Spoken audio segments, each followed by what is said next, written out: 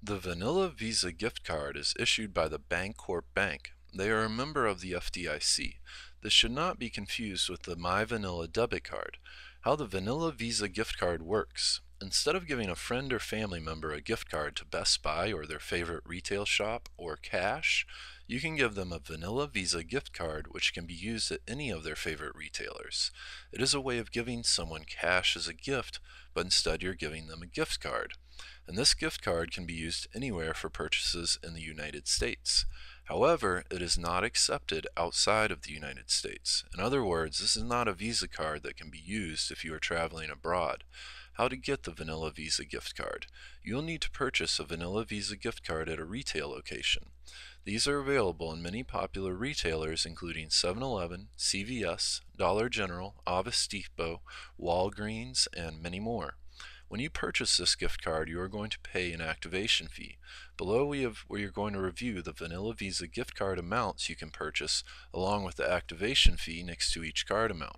For a $25 card, you're going to pay up to $4.95 as an activation fee. $50, $5.95. $100 up to $6.95. $200 up to $7.95 as an activation fee. This gift card works similar to a prepaid Visa credit card.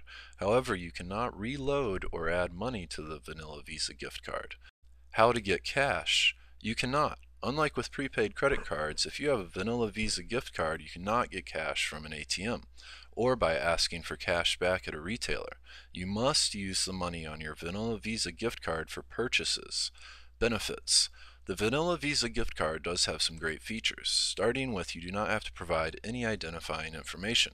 Immediately after you purchase the card, it can be used. It will be accepted online, you can pay at the pump with it, and everywhere Visa debit cards are accepted. This includes millions of retailers. There are no additional fees after you pay the activation fee. This is paid when you purchase the Vanilla Visa gift card.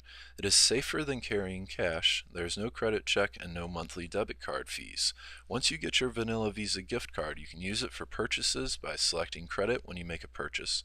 Additionally, you can create a PIN number and use your Vanilla card as debit, but that is not required. Our opinion. We get that giving a gift that someone will actually use is better than getting a sweater from your in-laws.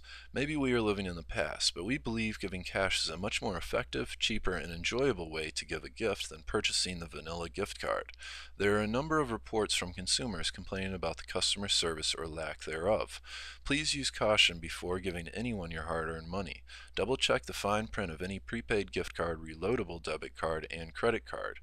For more details about the Vanilla Visa gift card, visit www.vanillavisa.com.